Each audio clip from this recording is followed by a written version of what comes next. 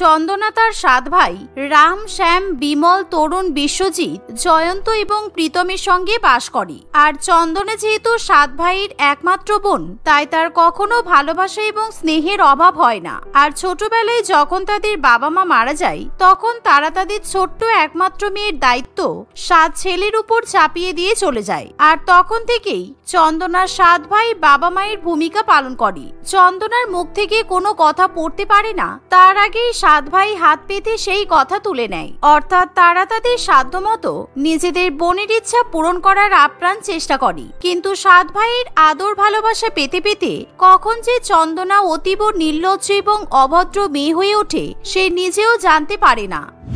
দাদা, আমি তোকে কবে থেকে বলছি? আমি যে গাড়ি করে কলেজে যাই, সেই গাড়িটা অনেক পুরানো হয়ে গেছে। আর এখন একটা আমার বিএমডব্লিউ চাই। কারণ বিএমডব্লিউ ছাড়া আমার আর গাড়ি চড়তে ভালো লাগছে না। কি বলিস? এই তো কিছুদিন আগে তোকে মার্সিডিস গাড়ি কিনে দিলাম। দুই মাসে হয়নি। আর এই দুই মাসের মধ্যে তোর এখন বিএমডব্লিউ গাড়ি লাগবে? এরকম করে টাকা অপচয় করতে নেই চন্দনা। আমরা তো অনেক কষ্ট করে রোজগার করি, বল।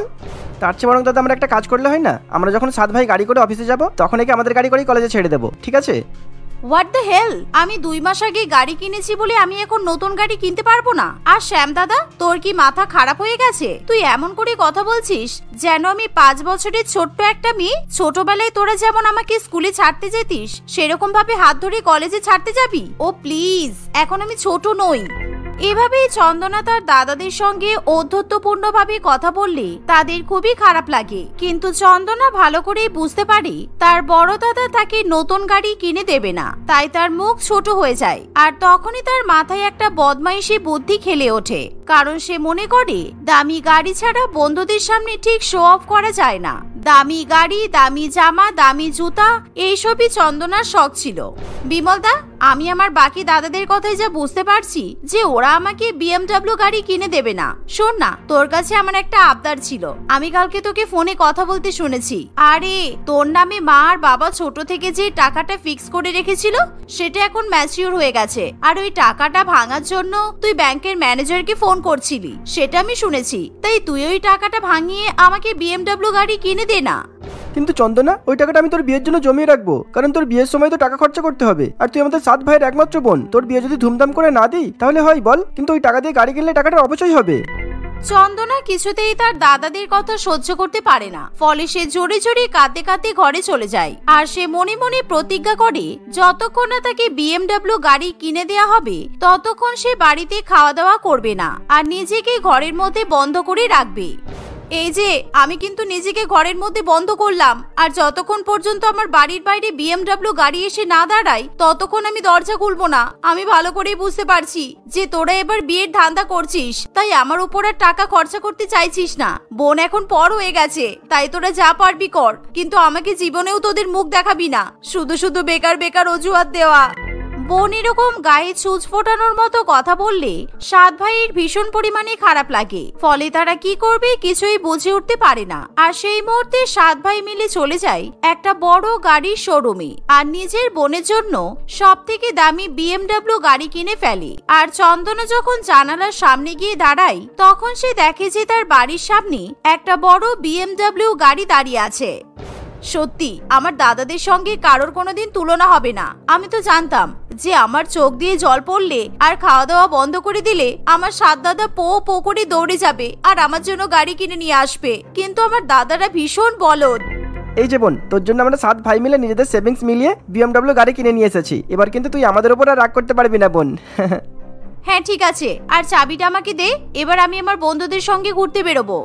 এই বলে চন্দনা বিএমডব্লিউর গাড়ির চাবি ছিনিয়ে নেয় আর গাড়ি করে উড়ে উড়ে ঘুরতে বেরিয়ে পড়ে। আর সেদিন অনেক রাত করে সে বাড়িতে ফিরে আসে। এভাবেই কিছুদিন কাটে। প্রত্যেকদিন চন্দনা তার সাত ভাইয়ের সাত রকম ক্রেডিট কার্ড ব্যবহার করে। কখনো দামি দামি জামা কাপড় কখনো নিজের জন্য দামি চশমা ইত্যাদি কিনে নিয়ে আসে। আর প্রত্যেক মাসে সাত ভাইকে লক্ষ লক্ষ টাকা বিল পে করতে হয়। একদিন চন্দনার দুই বান্ধবী প্রিয়া তনয়া তাদের বাড়িতে ঘুরতে আসে।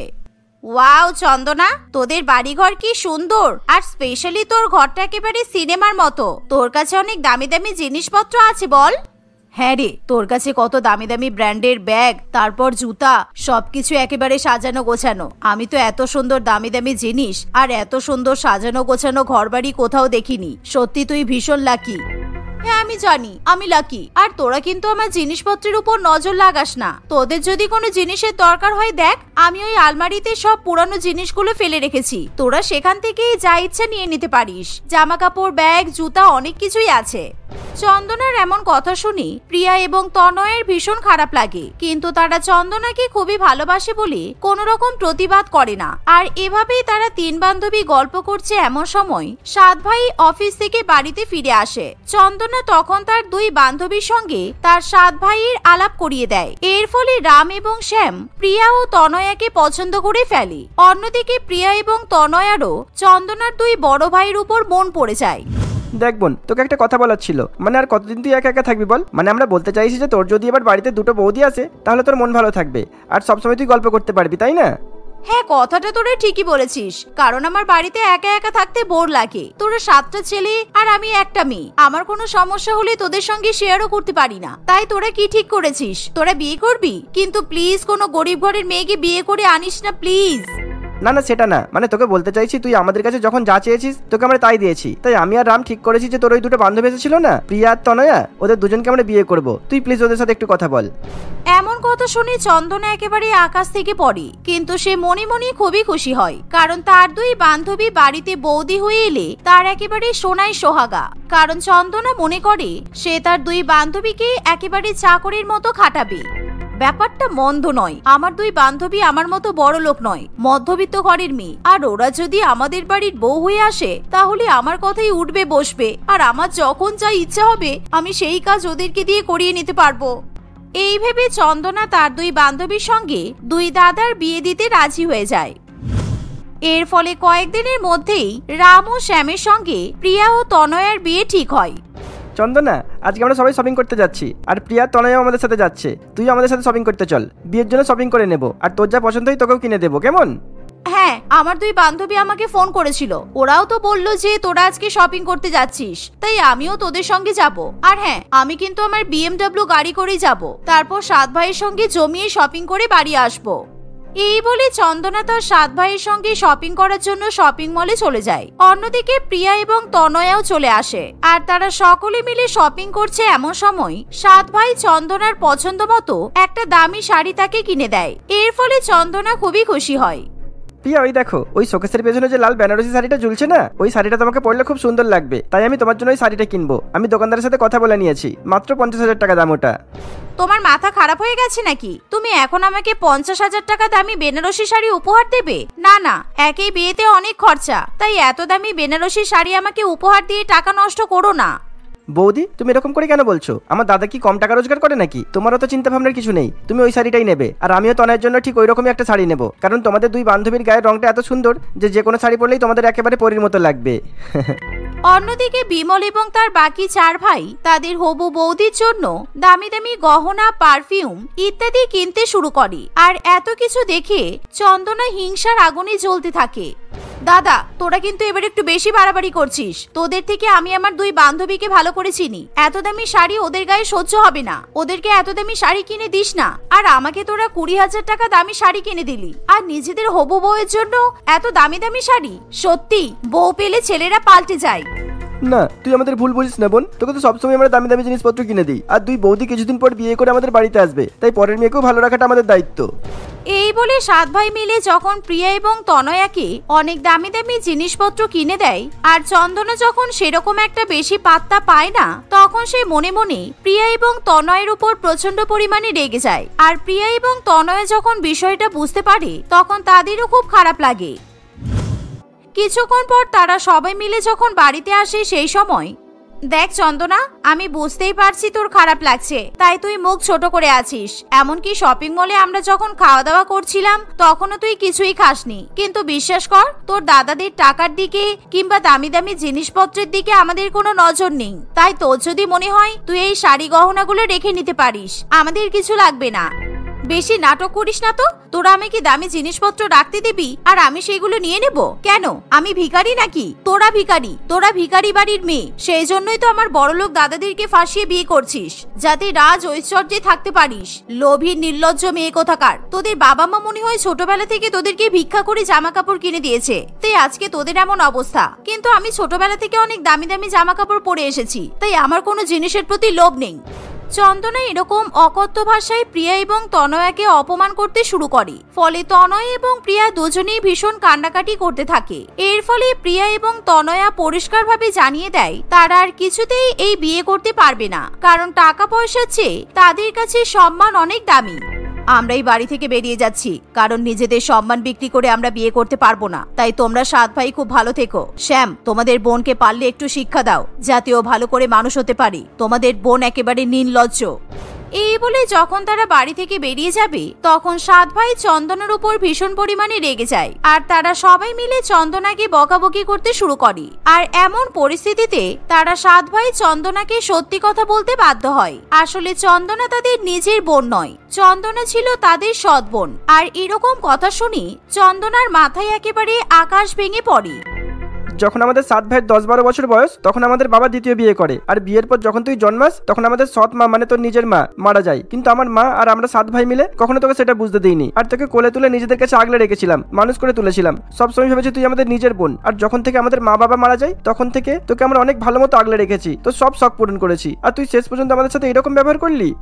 এমন সত্যি কথা শুনে, চন্দনা ভীষণ পরিমাণে লজ্জিত হয়ে পড়ে। আর সে কাঁদতে কাঁদতে তার সাত ভাই এবং হবু দুই বৌদির কাছে হাত জোর করে ক্ষমা চায়। সকলে তাকে ক্ষমাও করে দেয়। তারপর থেকে তারা সকলে মিলেমিশে সুখে শান্তিতে বসবাস করতে শুরু করে। সুমিতা তার বাবা মায়ের সঙ্গে একটা ছোট্ট তিনজনের পরিবারে বাস করে। অর্থাৎ সে যৌথ পরিবারে কখনো বড় হয়নি। আর সেই জন্য যৌথ পরিবারের মর্ম সে কখনোই বোঝে না। কিন্তু যখন সে বড় হয়ে ওঠে, তখন তার বাবা নিজের মেয়ের বিয়ে ঠিক করে যৌথ পরিবারে। কারণ সুমিতার যে বাড়িতে বিয়ে ঠিক হয়েছে অর্থাৎ রোহনের পরিবার ভীষণ পরিমাণে বড় লোক ছিল, আর তাদের কাছে অর্থের কোনো অভাব নেই। সেই জন্য সুমিতার বাবা মা এরকম জয়েন্ট ফ্যামিলিতে নিজেদের মেয়ের বিয়ে ঠিক করে দেয়। দেখতে দেখতে কিছুদিন কাটে।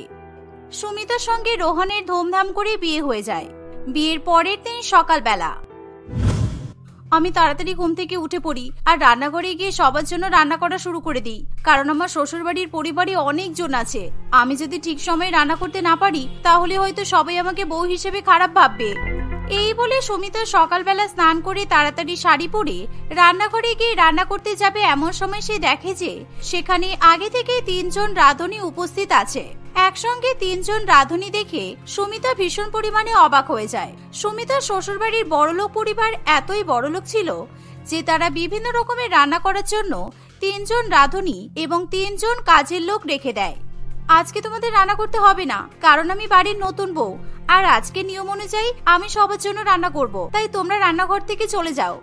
সুমিতা এই বলে তিন রাঁধুনিকে রান্নাঘর থেকে বের করে দেবে সেই সময়। তার কাকি শাশুড়ি মা একটা হট প্যান্ট এবং ক্রপ টপ পরে তিন ননদের সঙ্গে সেখানে চলে আসে।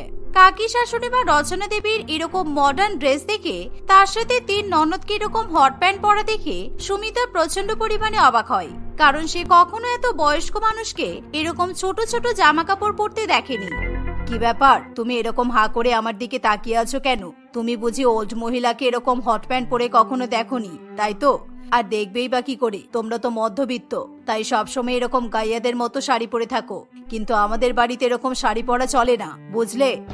বৌদি, কাকিমা কিন্তু একদম ঠিক কথাই বলেছে। আর তুমি সকালবেলা রান্নাঘরে কি করছ?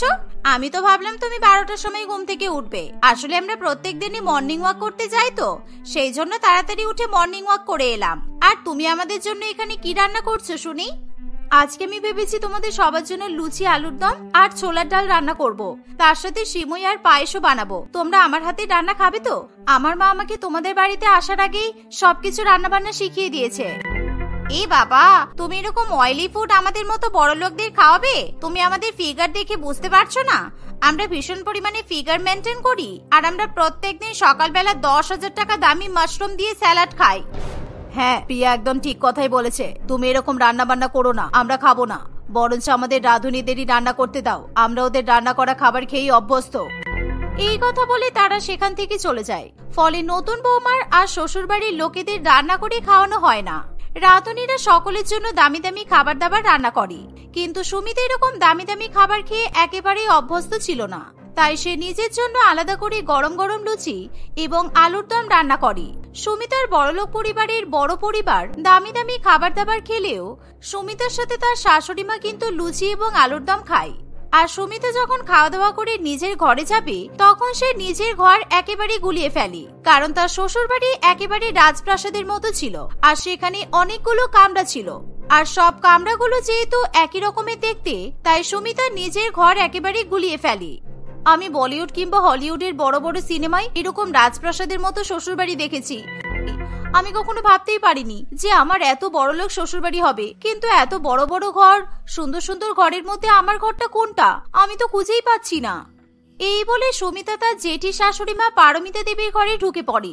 আর সেই সময় পারমিতা দেবী গান চালিয়ে জোরে জোরে নাচ করছে। এরকম বুড়ি জেঠি শাশুড়ি মাকে গান চালিয়ে নাচ করতে দেখে সুমিতা জোরে জোরে হেসে ওঠে। আর সে কিছুতেই নিজের হাসি থামিয়ে রাখতে পারে না। How chair you? তুমি আমার নাচ দেখে এরকম করে হাসছো কেন? তুমি জানো না? এই নাচটাকে রুম্বা বলে? কি অশিক্ষিত মেয়ে রে বাবা। আমি কি সুন্দর রুম্বা নাচছি? আর তুমি দেখে আমার উপর হাসছো? হ্যাঁ গিন্নি, তোমার উপর হাসবেই তো। কারণ ওটা রুম্বা নয়, ওটা জুম্বা। বয়সে তোমার যেমন ভীমরতি হয়েছে, তাই নতুন বোমা তোমার উপর হাসছে। আর বৌমা, তুমি হঠাৎ করে আমাদের ঘরে ঢুকে পড়লে কেন? কিছু দরকার নাকি? না না, জ্যাঠাবাবু, আসলে আপনাদের বাড়ি একেবারে রাজপ্রাসাদের মতো বড় তো। আমি ঠিক বুঝতে পারিনি আমার রুম কোনটা। তাই ভুল করে আমি আপনাদের ঘরে ঢুকে পড়েছি। আমাকে ক্ষমা করে দেবেন। আমি এক্ষুনি চলে যাচ্ছি। আর জেঠিমা, আমি আপনার নাচ দেখে হাসতে চাইনি। কিন্তু এমন অদ্ভুত ভাবে আপনি নাচছেন, তাই দেখে আমি হাসি চেপে রাখতে পারিনি। পারলে আমাকে ক্ষমা করে দেবেন। এই বলে সুমিতা তাদের ঘর থেকে চলে যেতে যাবে সেই সময় তার জ্যাঠা শ্বশুর মশাই সুমিতাকে নিজের কাছে ডাকে এবং তার হাতে একটা বড় সোনার বালা উপহার দেয়। আর সেই সোনার বালা জোড়ার নেই নেই করে পাঁচ লক্ষ টাকা দাম ছিল। এত বড় সোনার বালা এবং দামি সোনার বালা দেখে সুমিতা প্রচণ্ড পরিমাণে অবাক হয়, কারণ সে কোনোদিনও এত দামি গহনা নিজের গায়ে পড়েনি দেখো বৌমা, এটা আমার পারিবারিক সোনার বালা। আমার মা মারা যাওয়ার সময় তোমার জেঠিমাকে দিয়েছিলেন। আর এখন আমি তোমাকে দিলাম। সুতরাং এটা আমাদের বড় লোক পরিবারের বড় ঐতিহ্য। তুমি কিন্তু এটা সামলে রেখো, কেমন? সুমিতা রতনবাবুর কথা শুনে খুবই খুশি হয়। এভাবেই দেখতে দেখতে দুই দিন কাটে। আর সুমিতা একেবারে রাজরানীর মতো বড়লোক পরিবারে বসে থাকে।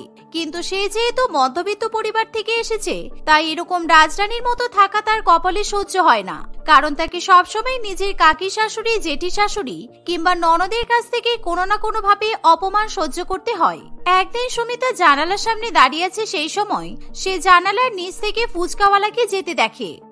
ইস, আগে বাপের বাড়িতে থাকলে যখন তখন বন্ধুদের সঙ্গে ইচ্ছে হলেই বেরিয়ে যেতাম ফুচকা খেতে। কিন্তু এখন বড়লোক শ্বশুর বাড়িতে বিয়ে হওয়ার পর ফুচকা খাওয়া একেবারে ভুলেই গেছি। আমার তো ফুচকাওয়ালাকে দেখে খুবই ফুচকা খাওয়ার ইচ্ছে করছে। সুমিতা ফুচকার লোভ সামলাতে না পেরে সে তাড়াতাড়ি করে বাড়ি থেকে বাইরে বেরিয়ে পড়ে। আর ফুচকাওয়ালাকে দাঁড় করিয়ে সে বেশি বেশি করে ফুচকা খেতে শুরু করে দেয়। এমন সময় তার বড়লোক শ্বশুরবাড়ির পরিবার থেকে তার কাকি শাশুড়ি, জেঠি শাশুড়ি এবং এবং তীর ননদ নতুন বৌমাকে এরকম ভাবে ফুচকা খেতে দেখে নেয়। ইস, কি ডিসগাস্টিং লো ক্লাস মেন্টালিটি এই মেয়েকে বিমলা কোথা থেকে যে তুলে এনেছে কে জানে? এরকম বড়লোক পরিবারে বউ বানিয়ে কেন যে এনেছে কিছুই বুঝতে পারছি না। কেমন ভাবে রাস্তায় দাঁড়িয়ে দাঁড়িয়ে ফুচকা খাচ্ছে? ডিসগাস্টিং একদম তুমি ঠিক কথাই বলেছ। আমি কতবার করে বলেছিলাম যে আমার আমেরিকা ফেরত দিদির মেয়ের সঙ্গে রোহানের বিয়ে দিতে। কিন্তু বিমলা তো কোনো কথাই শুনলো না। আর এখন আমাদের এরকম বস্তির মেয়ের সঙ্গে সংসার করতে হচ্ছে। চুপ করো জেঠিমা। জ্যাঠাবাবু তো আবার ওর হাতে সোনার বালা পরিয়েছে। বৌদি ওই দামি সোনার বালা পরে যেভাবে রাস্তায় দাঁড়িয়ে দাঁড়িয়ে ফুচকা খাচ্ছে, যখন তখন কিন্তু হাতের বালা চুরি হয়ে যেতে পারে। তোমরা এরকম করে আমাকে কথা শোনাচ্ছ কেন? আমি ফুচকা খেয়ে কি দোষ করেছি? তোমরাও এখানে এসো আর আমার সঙ্গে ফুচকা খাও, কারণ ফুচকা খাওয়া হলো মেয়েদের ধর্ম। তাড়াতাড়ি চলে এসো। এমন লো ক্লাসের মতো কথা আমাদের সঙ্গে বলবে না বৌদি, আমরা কোনোদিনও ফুচকা খাই না। ওই গরিব লোকটা কীভাবে হাত দিয়ে ফুচকা দিচ্ছে? আমার দেখেই তো ঘৃণা করছে। আমরা সবসময় দোকান থেকে ফাস্ট ফুড কিনে নিয়ে এসে খাই, তাও আবার অনেক হাজার হাজার টাকা দিয়ে। তুমি সেসব স্বপ্নে কোনোদিনও ভাবতে পারবে না। তুমি একদম রাস্তায় দাঁড়িয়ে ফুচকা খেয়ে আমাদের পরিবারের সম্মান নষ্ট করবে না বলে দিলাম। তুমি এখন বড়লোক পরিবারের বউ। বড়লোক পরিবারের মহিলা সদস্যরা কিছুতেই সুমিতাকে রাস্তায় দাঁড়িয়ে ফুচকা খেতে দেয় না। এমনকি তাদের বাড়ির পাশে মেলা হলেও সুমিতা সেই মেলায় যেতে পারে না। আর যদি তার কখনো বাজারে যেতে ইচ্ছা হয়, তবুও সে বাজার করতে যেতে পারে না। কারণ সেই সব কাজ করার জন্য আলাদা আলাদা বাড়িতে চাকর রাখা আছে। এমনকি সে যদি ছাদে গিয়ে গরমের মধ্যে হাওয়া খেতে চায়, তবুও তাকে ছাদে দেওয়া হয় না, কারণ বাড়ির বউ নাকি ছাদে ওঠে না। এই বড়লোক পরিবারে বিয়ে হয়ে আসার পর এতজন সদস্যের মধ্যে আমার একেবারে দম বন্ধ হয়ে আসছে। আমার স্বাধীনতা প্রায় চলে গেছে বললেই চলে। আর আমি যদি জানতাম, তাহলে আমি এরকম বড় লোকের বড় পরিবারে কখনো বিয়ে করতাম না। এভাবে দেখতে দেখতে আরও কিছুদিন কাটে। একদিন সুমিতা ঠিক করে যে, সে তার বড়লোক, বড় পরিবারের সকল সদস্যের কথা উপেক্ষা করে বাইরে বেরিয়ে তার মনের মতো শপিং করতে যাবে। আর সেই জন্য সে কাউকে কিছু না বলেই বাড়ি থেকে বেরিয়ে যাবে বলে ঠিক করে। আমি বরঞ্চ এই সোনার বালাটা হাত থেকে খুলে আলমারিতে রেখে যাই। এই কথা বলে সুমিতা তার সোনার বালা আলমারিতে রেখে কাউকে কিছু না বলেই বাড়ি থেকে বেরিয়ে যায়। আর সারাদিন বাইরে ঘুরে ঘুরে নিজের মন পছন্দ মতো ছোটখাটো বাজারে গিয়ে শপিং করে। কখনো কুলফি খায়, আবার কখনো বিরিয়ানি খায়, কিংবা কখনো তার প্রিয় বান্ধবীর সঙ্গে দেখা করে। এভাবেই সারাদিন খুব মজা করার পর সে যখন শ্বশুর বাড়িতে ফিরে আসে, তখন তার বড়লোক শ্বশুর বাড়ির বড় পরিবার তাকে অনেক খারাপ খারাপ কথা বলে। ওই যে, গরিবদের রানী ঘুরে ফিরে এখন বাড়ি চলে এসেছে। সত্যি, এসব মেয়েগুলোকে যতই নর্দমা থেকে তুলে এনে বড়লোক পরিবারের বউ বানাও না কেন? এদের কখনো কোনো শিক্ষা হবে না। তোরা একটু চুপ করবি, সবেমাত্র বৌমা এই পরিবারের বউ হয়ে এসেছে। আমাদের পরিবারের নিয়ম কানুন শিখতে ওর তো একটু সময় লাগবে। তাতে তুই ওকে এত কথা শোনাচ্ছিস কেন? বৌমা আমাদের বাড়িতে তুমি নতুন বউ হয়ে এসেছ। সেই উপলক্ষে আমরা সবাই মিলে তোমার জন্য একটা পার্টি থ্রো করেছি। আর সেই পার্টিতে আমাদের বড় পরিবারের সকল বন্ধু বান্ধব এবং আত্মীয় স্বজনরা আসবে। তুমি খুব সুন্দর করে সেজে গুজে তৈরি হবে, কেমন? ঠিক আছে, মা, আমি তৈরি হয়ে থাকব। পরের দিন সন্ধ্যা হতে না হতেই বড়লোক পরিবারের সকলেই খুব সুন্দর করে দামি দামি শাড়ি জামা কাপড় পরে এবং গহনা পরে তৈরি হয়। আর তাদের পার্টি শহরের মধ্যে সব থেকে বড় পার্টি ছিল, কারণ তারা শহরের সব থেকে বেশি বড় লোক সুমিতাকে তার শাশুড়ি মা একটা পাঁচ লক্ষ টাকা দামি শাড়ি উপহার দেয়। সুমিতা যখন সেই শাড়ি পরে সেজে গুজে, তার দামি দামি হীরের গহনা এবং হাতে সোনার বালা পরতে যাবে, তখন সে লকার খুলে দেখে যে, সেখান থেকে পাঁচ কোটি টাকার গহনা একেবারে গায়েব হয়ে গেছে। এই দেখে সুমিতা প্রচণ্ড পরিমাণে ভয় পেয়ে যায়। কি হলো? আমি তো এখানেই সব গহনা কাটি, আমার গহনাগুলো রেখেছিলাম, তাহলে সেগুলো গেল কোথায়?